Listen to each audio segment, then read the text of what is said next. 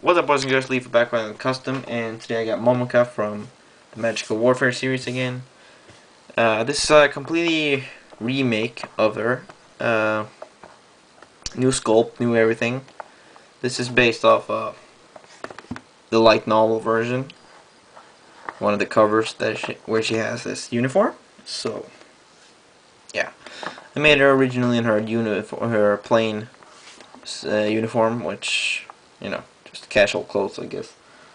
Uh, wasn't fond of that custom, so I just decided to update her because I really like the character. So, yeah. I did this in less than a week, actually. Really quick sculpt because I used a different blue tech, my oldest blue tech I have, which is like five, seven years old, I guess. Uh, it's a really dark blue color.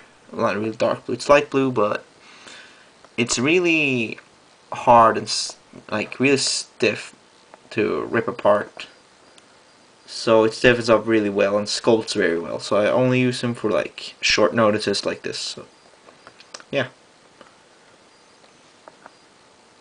And I think the paint job turned out really nice with the blue, dark blue and all, you know, all the components. It was pretty much like Flemmy, where I once I before I put on this and this uh, her tiny cape, uh, it looked kind of weird. But once you just put everything on, just transforms just like that. So, yeah. It's the same twin tails that I did before, just some Lego fabric.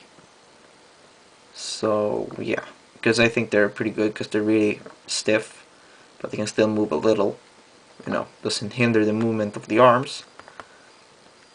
And I actually painted her skirt here because it wouldn't have worked with these otherwise. And she's supposed to have another piece of cloth coming hanging down here in the middle, but I decided to ignore that. So, yeah. I decided I would have probably painted painted it, you know, like that. But I decided not to. So, yeah, I just think it turned out really nice. Her face, too.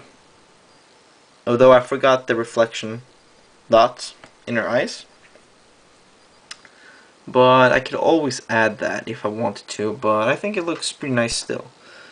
She doesn't seem to have that much reflection in the light novel. It's like very vague. But yeah, that's pretty much it for this video. Really like this custom. I hope you guys do too. So thank you guys for watching. Please subscribe, comment down what you think. And I'll see you guys next time.